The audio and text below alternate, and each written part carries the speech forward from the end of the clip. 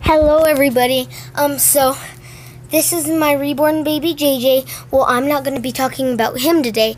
I'm going to be talking about my reborn baby, um, Clementine. So I'm just going to put the camera right here. Let's get Clementine.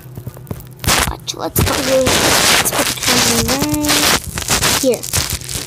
Or I could just take it with me. So here is Clementine um, comes from the Ashton Drake um, babies. So, yeah. This, um, I got her a grape. Like, she she likes grapes because monkeys like fruits and vegetables.